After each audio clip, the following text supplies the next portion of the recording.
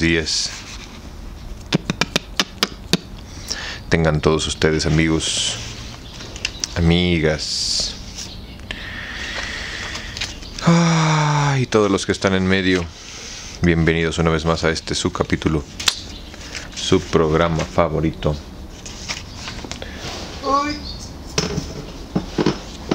El círculo de lectura. Y estamos aquí reunidos, esta vez, en la capital del corrido. Ahora sí tengo un poco de flojera, fíjense, se los confieso.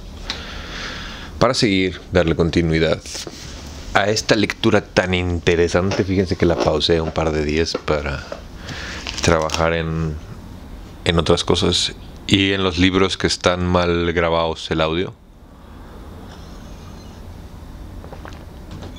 Y sí, ahora como que, ¿cómo te diré? Tengo la duda, ¿no? Entonces, pues muchas gracias por venir. Yo soy Barbitas y estamos leyendo Juárez y las revoluciones de Ayutla y la Reforma por Francisco Bulnes. Eh, si es la primera vez que llegas, esta es la parte creo que 8 o 7 de este capítulo de este libro. 7 y 1, 2, 3, 4, 5, 7. 6 o 7. Este. Y pues bueno. Lo demás está en la lista de reproducción. Así que sin más por el momento, ni preámbulos estúpidos que no te importan, porque la verdad no sé qué decir. Yo soy Barbitas y esto es Juárez y las revoluciones de Ayutla y de Reforma por Francisco Bulnes.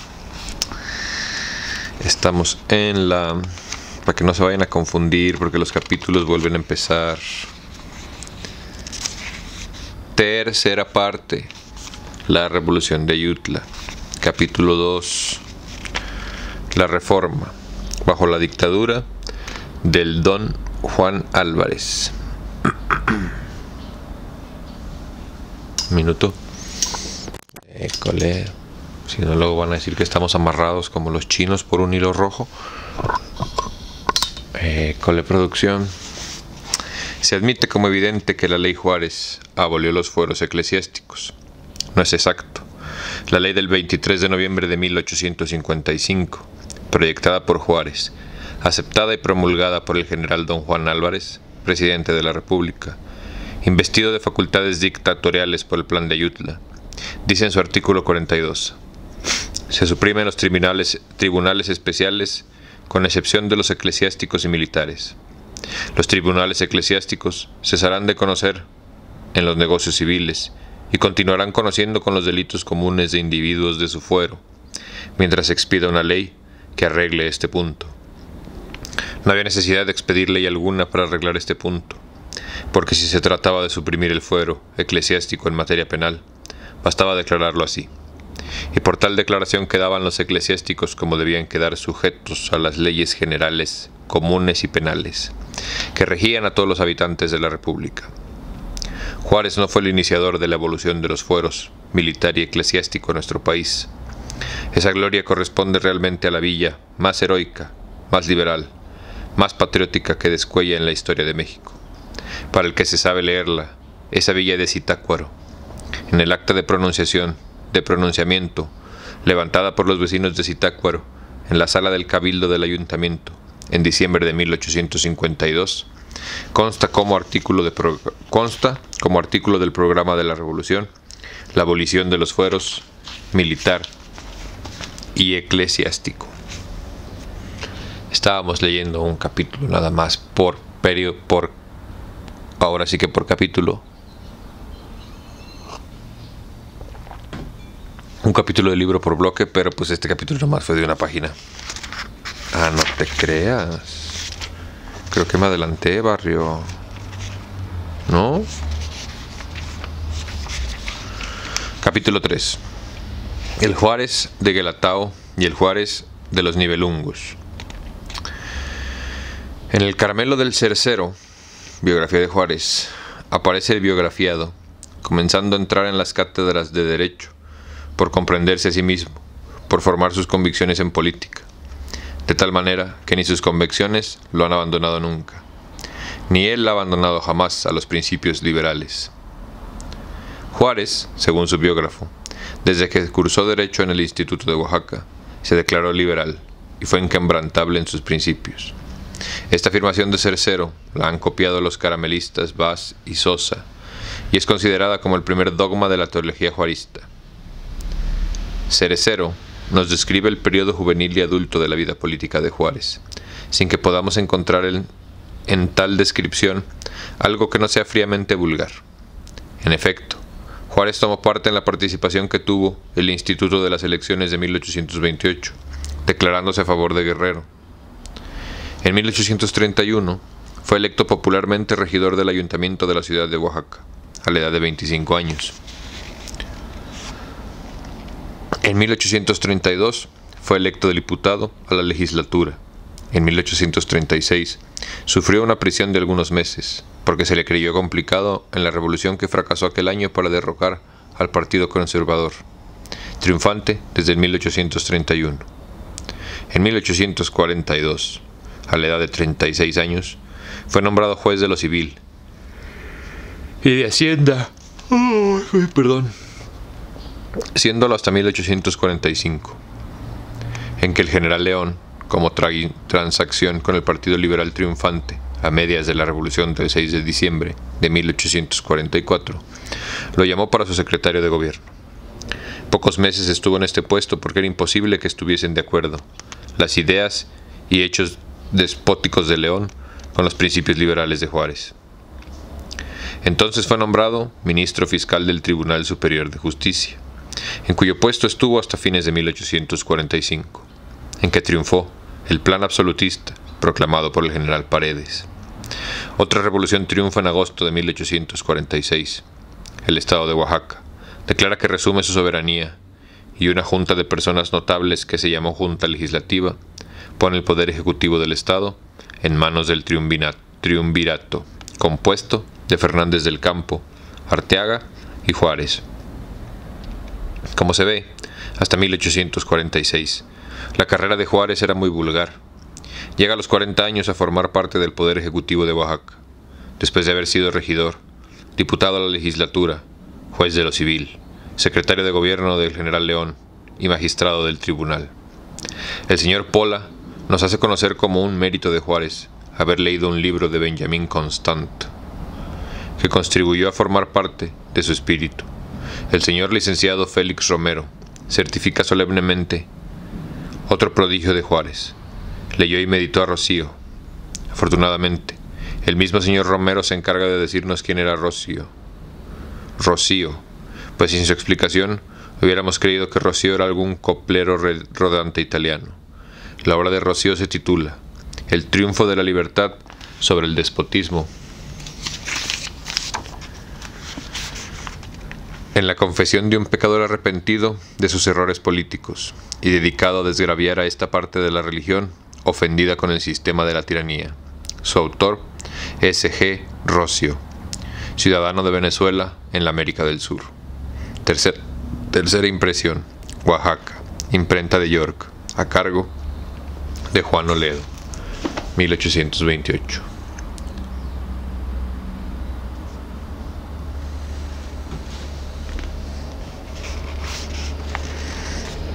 Para que en el año 1828 en Oaxaca se vendiese públicamente un, libro que figurase la religión, muy cuidada por la censura facultativa del clero, debe haber sido un libro tan liberal como el reglamento del Santo Oficio. Sin embargo, su lectura fue muy importante para el destino de México, porque no solo el señor licenciado Félix Romero certifica que Juárez, que Juárez leyó y meditó a Rocío, sino también don José María Maza, probablemente sin esta lectura de Rocío, México no hubiera tenido leyes de reforma. Paola Juárez, nota de página. Al correr Cercero, el espeso velo de caldeos misteriosos, y presentarnos los primeros 40 años de vida de Juárez, creyó probar que su biografiado había sido ardiente, intransigente, inquebrantable, inquebrantable, liberal. Sin un momento de, de debilidad, sin un momento de debilidad, sin el menor sacudimiento de vacilación, sin el mal pensamiento de una concesión al partido contrario. Cerecero ha tenido éxito para los crédulos incondicionales, vaciados en pasión o en, analfabetismo. Pero analizando su exposición, se descubre que está llena de omisiones intencionales y de torpes mentiras. Es ineludible deber de todo escritor que se declara amigo, el ineludible deber de todo escritor que se declara amigo, admirador, apologista de un hombre, es probar la realidad de los méritos que le atribuye. De otra manera, su apología no pasa más que de trabajo necio de adulación. Cerecero se dispensa a sí mismo de probar en la descripción de la vida de Juárez los actos meritorios que son insignificantes, haber tomado parte en las elecciones a favor de Guerrero, siendo alumno del instituto, haber sido reducido en 1836 a prisión porque se le creyó complicado en un proyecto de revolución, y haber renunciado al puesto de secretario general del general León, porque sus opiniones liberales no le permitían permanecer dividiendo las responsabilidades políticas con un déspota como el general León. El segundo cargo que debo hacer a Cerecero es por sus omisiones. ¿Qué hizo Juárez desde la abolición del federalismo en 1834 hasta 1842? En que según el biógrafo fue nombrado juez civil de Oaxaca.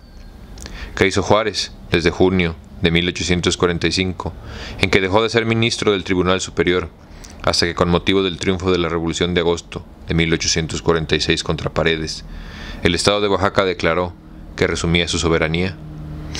¿Cómo explicar estas omisiones del biógrafo cuando la biografía apareció en la vida del biografiado? Y ambos sostuvieron correspondencia cordial con motivo de la biografía. La crítica tiene que decir, si un apologista desenfrenado omite intencionalmente exponer la conducta de un hombre público durante dos periodos de interesantes acontecimientos políticos, quiere decir que es casi seguro que la conducta de aquel hombre público fue bien censurable.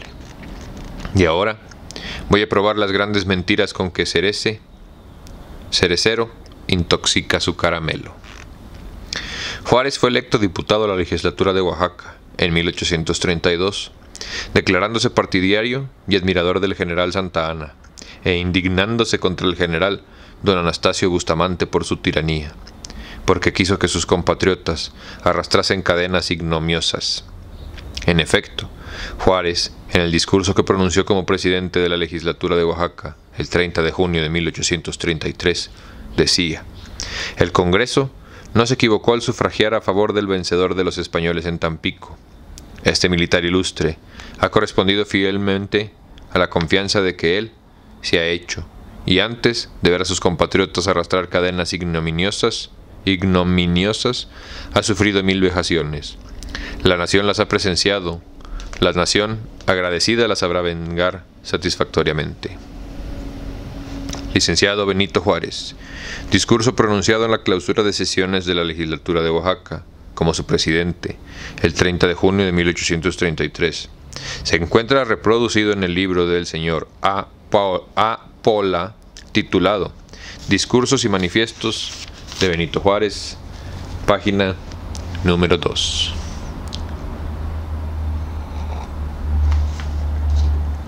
Sí le tira bastante duro, ¿eh? El documento citado prueba el inquebrantable liberal de don Benito Juárez. Se identificó con la revolución que derrocó a Anastasio Bustamante por tirano y el mismo Juárez declara que Santa Ana libró a sus compatriotas de arrastrar cadenas ignominiosas. No he podido averiguar qué hizo Juárez cuando el ilustre Santa Ana proclamó el centralismo, pero si aparece Juárez, servidor como juez civil del centralismo santanista, continuado por este mismo don Anastasio Bustamante, que hacía arrastrar cadenas ignominiosas a sus compatriotas. Y después de aceptar o pedir Juárez al tirano clerical Bustamante un empleo en su ignomiosa tiranía, se pronuncia contra él, llegando así al pretorianismo de Redigonte, hermano carnal y gemeno del pretorianismo de Cherreteras. En el manifiesto a la nación de lo ocurrido el 17 de septiembre de 1841 en la ciudad de Oaxaca, se lee. Desde que llegaron a esta ciudad, las posibles noticias del pronunciamiento del señor general Mariano Paredes, un golpe eléctrico reanimó los corazones de todos sus habitantes. Este es el encabezado de la adhesión al pronunciamiento de Paredes, instrumento de Santa Ana contra Bustamante. El general Santa Ana en 1841 ya no podía engañar a ningún liberal. Su conducta en 1834 había sido criminal, asquerosa, venal, despreciable, y en 1836, en Texas, se había portado como traidor y cobarde. Sin embargo, vemos a Juárez adhiriéndose al condiotero Santa Ana contra el pretoriano Bustamante, a cuya administración servía, después de haber declarado en 1833 que Bustamante hacía arrastrar a sus compatriotas ignomiosas cadenas. Mi cargo es terrible, pero está comprobado con la firma de don Benito Juárez, juez de lo civil, al pie del manifiesto de adhesión al pronunciamiento, pues dicho manifiesto lo firman el 17 de septiembre de 1841. Magistrado del Supremo Tribunal y catedrático de cánones, José María Moreno. Idem, José Arteaga, abogado de pobres, José Inés Sandoval, profesor de cirugía, José Francisco Carriedo, primer ayudante de auxiliares del ejército, Ignacio Castañeda, doctor Demetrio Garmendia, juez de lo civil de la capital, licenciado don Benito Juárez. Este documento oficial se haya reproducido en la obra del señor Pola, Discursos y Manifiestos de Juárez, página 182, y fue tomado de los documentos oficiales que obran en la Biblioteca Nacional.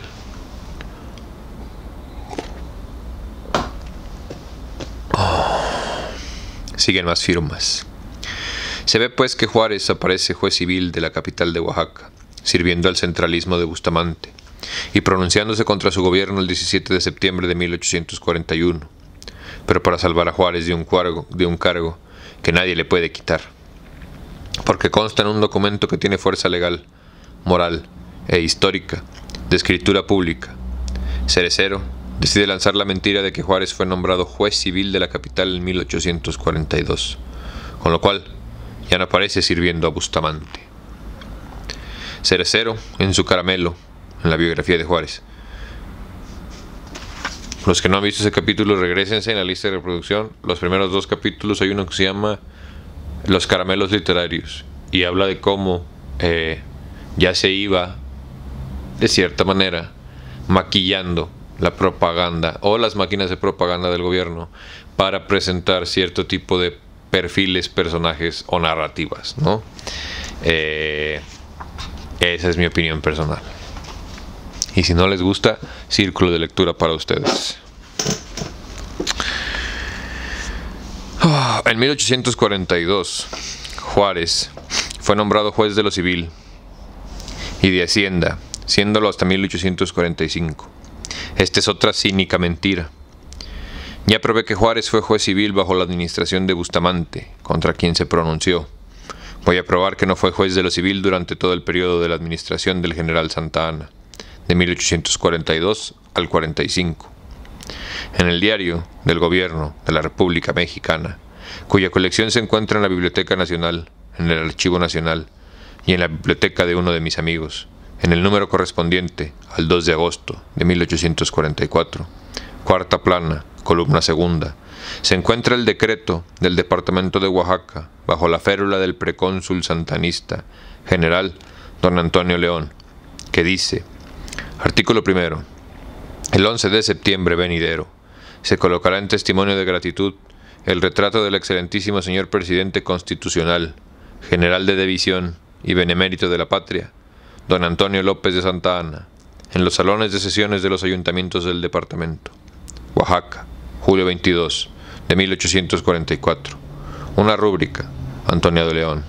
Otra rúbrica, Benito Juárez, secretario.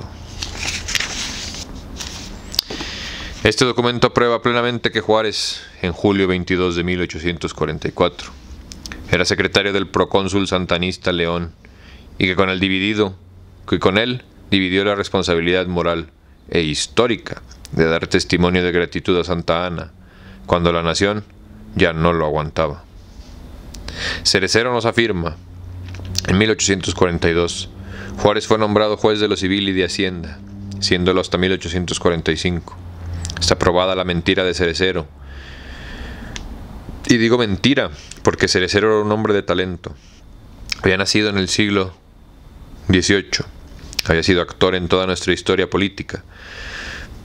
Y era un verdadero diccionario por su erudición en historia patria. Cerecero no padecía errores tan magnos.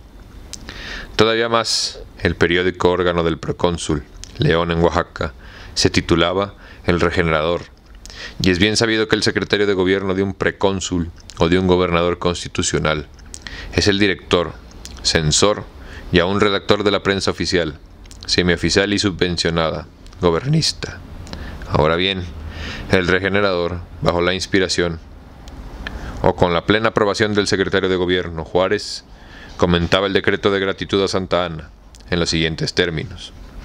Los distinguidos y relevantes servicios del héroe sempualteco demandaban imperiosamente esa señal de reconocimiento, con lo que los oaxaqueños manifiestan cuanto saben apreciar el mérito y virtudes del muy digno y supremo magistrado de la nación, cuyo retrato será visto por la generación presente y futura con el respeto y amor que infunden las grandes y heroicas acciones del hombre ilustre a quien representa.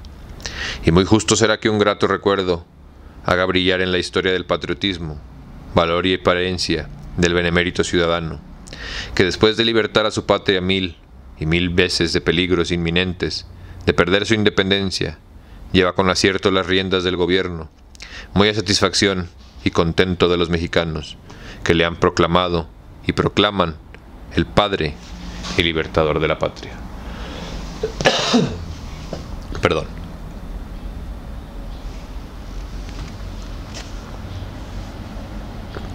Este comentario se encuentra al calce del decreto del 22 de julio de 1844 y fue también reproducido por el Diario de Gobierno de la República en el número 2 del 2 de agosto de 1844, en el que habla con elogio y gratitud de los autores del decreto oaxaqueño.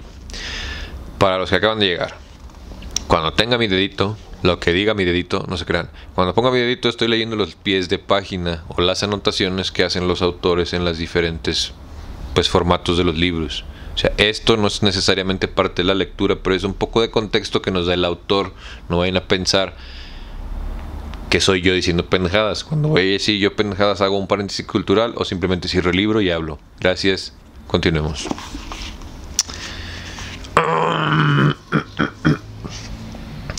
Tan bellas. Así son las palabras que el periódico oaxaqueño, El Regenerador, colocado bajo la alta dirección política de Juárez, como secretario de gobierno del general León, dedicaba al padre y libertador de la patria, con amor y respeto. ¿Era Juárez sincero al hundirse en este océano de exaltada veneración por Santa Ana, en compañía del procónsul León, o tomaba parte en el culto al ídolo del día, odiándolo en el fondo de su alma? Si era sincero, como yo lo creo, entonces no es cierto que Juárez fuese liberal, formado en el instituto por Constante, y que había meditado a Rocio, inquebrantable en sus principios.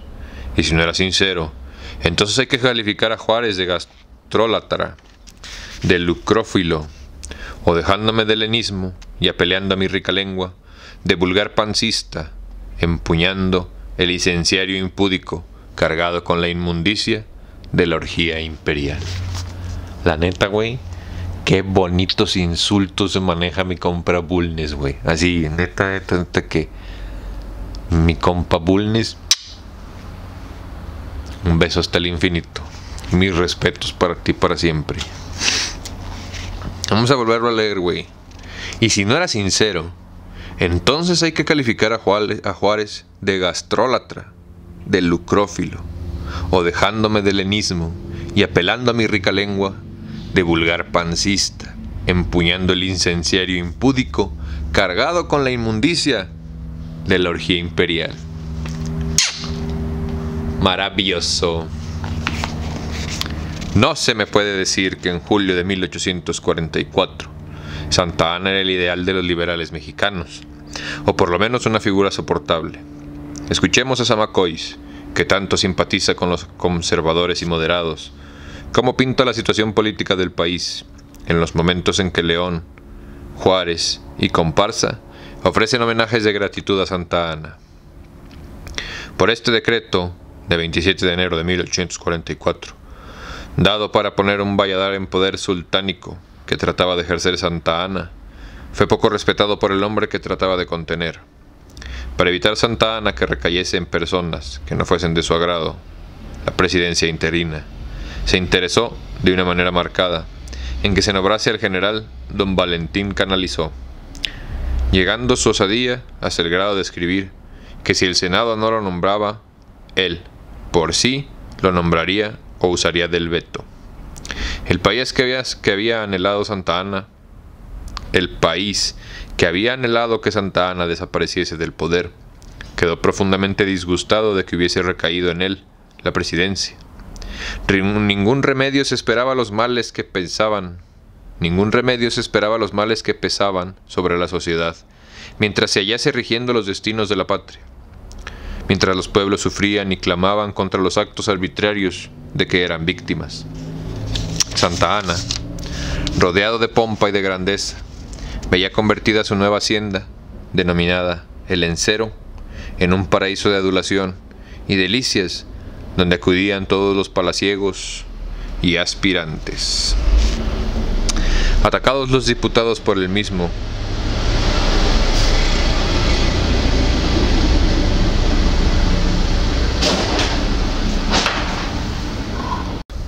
Listo, me disculpo, estaba grabando más temprano para evitar este tipo de problemas, pero me ganó la hueva, así que I'm sorry, discúlpenme.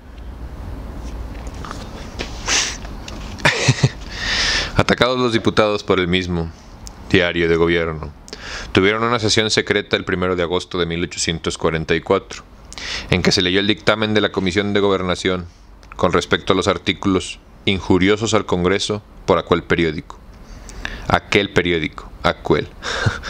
La nación sabía que los cuatro millones de duros que se le habían exigido ultimadamente habían desaparecido antes de haber sido recaudados, con utilidad de algunos hombres que comerciaban con las necesidades de los gobiernos. Con utilidad de algunos hombres que negociaban con los presupuestos de los gobiernos. ¿Dónde he escuchado eso?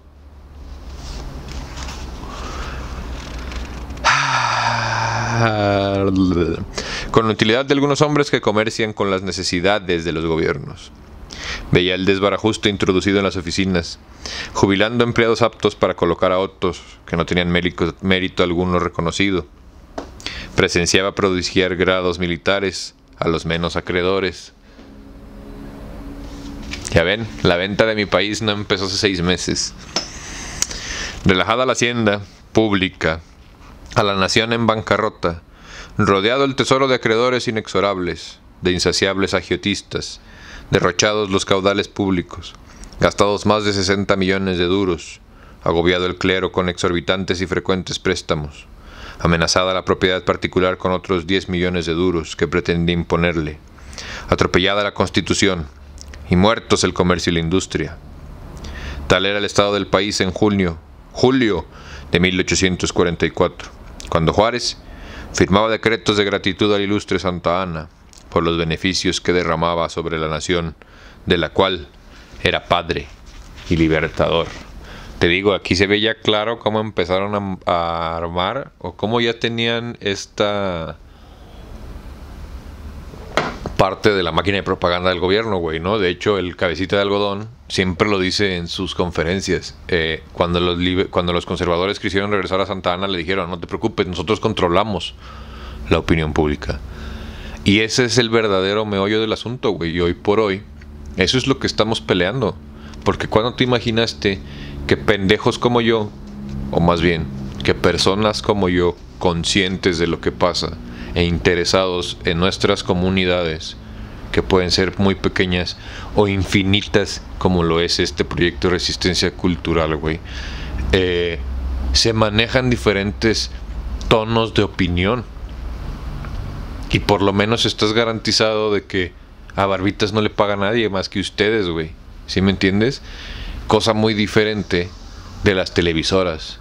Cosa muy diferente de los políticos cosa muy diferente de los actores, güey, ¿no? De toda esta parte propagandística de la farándula, de los millonarios.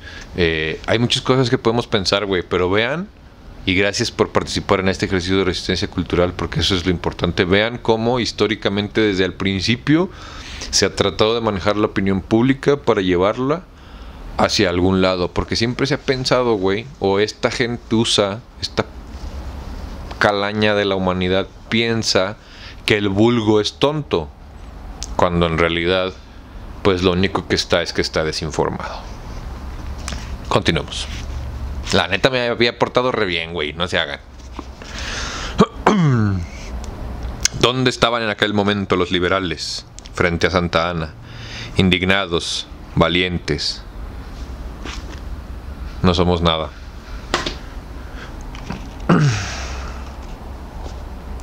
Resueltos, audaces, amenazantes, acusándolo, impecándolo, agobiándolo, perdón, agobiándolo con reproches descargando sobre su corrupción y tiranía todas las frases que el dolor, la ley y la esperanza y la justicia tienen de más expresivas, santas, conmovedoras, solemnes, terribles. Los liberales se hallaban en las cámaras en la prensa y en el campo de la insurrección con los fragmentos de la Constitución, envolviendo sentencias, balas, escupitajos. ¿Dónde estaba Juárez? ¿Del lado de tirano de su patria? Venerándolo y declarando su amor y respeto y adhesión con el decreto de 22 de julio de 1844, y en el hermoso comentario del regenerador. Y así, ¿se quiere hacernos creer que Juárez fue en Oaxaca el azote de los tiranos, la marmita hirviente de las, verdades, de las virtudes republicanas y el sombrío arcángel de la ley, del derecho de la patria? Qué horrible es la ignorancia de un pueblo. En ella cabe la destrucción de toda su civilización, dictada por el primer impostor que descarga sobre sus espaldas como el látigo, el golpe de un entrochado de mentiras. Hombre, güey, me embola Bulnes, güey. Neta que yo creo que se acaba de convertir en mi autor favorito de lo que he leído hasta la fecha, güey. Porque la verdad yo siempre he sido una mujer eh, de cascos ligeros en ese tipo de cosas. Hoy tengo algo que es mi favorito absoluto. Y si en cinco minutos descubro algo que me gustó más, güey, se convierte en mi favorito absoluto. O sea, yo no me ando con pendejadas. Así, así de rápido olvido, así de rápido perdono.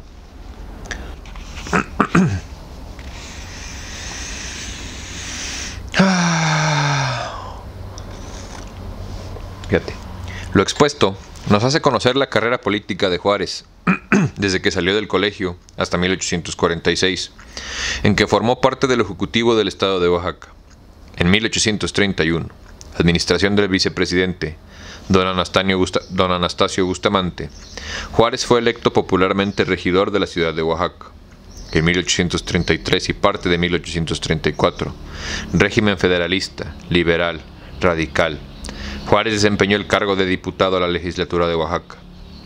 Parte de 1834 en adelante hasta 1841. Administraciones conservadoras, los biógrafos de Juárez, no quieren decir qué hizo en este periodo. En 1841, administración centralista, militarista y clerical de don Anastasio Bustamante. Juárez aparece sirviéndolo como Juárez, como juez de lo civil en Oaxaca y pronunciándose contra Bustamante en septiembre de 1841. 1842 hasta el 44 administración centralista, militarista, desquiciadora y funesta de Santa Ana. Juárez aparece en el importante puesto político de secretario de gobierno del arbitrario precónsul Santa Ana, don Antonio León. En 1845, administración federalista, triunfo del Partido Moderado. Juárez aparece sirviendo el cargo de magistrado del Tribunal del Estado de Oaxaca.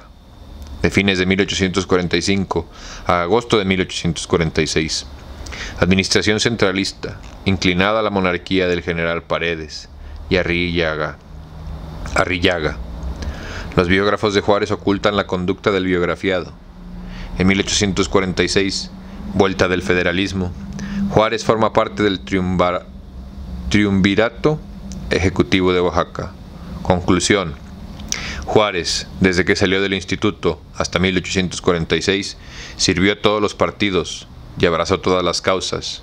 En consecuencia, no se nota su intransigencia como liberal. Chan, chan, chan. ¿Ven lo que les digo? Esa parte me gusta, güey. Al final, de, bueno, aquí vamos a dejar el capítulo de hoy, pero me gusta esto que, que nos presenta una versión más real de Juárez, güey, ¿no? Te digo, yo no estoy diciendo que haya sido un bueno o un mal presidente. Eh, creo que está muy inflado. Creo que eh, no lo venden de una manera muy maquillada, ¿no? Eh, creo que poniendo las cosas, pues, más aterrizadas, ¿no? A su tiempo, a su historia. Dejé mi refrigerador abierto y apenas me estoy dando cuenta. Es eso, güey, que cómo van maquillando la historia y nos van contando diferentes partes o nos la van contando de una manera en la que pues bueno no a nosotros nos, nos formen esta esta parte esta idea este imaginario famoso mexicano no y yo creo que la única historia que existe pues es esta güey la que hacemos nosotros de boca a boca la que hacemos nosotros al hacer este tipo de cosas no eh, a mí me contó mi abuelo que estuvo en la revolución. Esto, ¿no?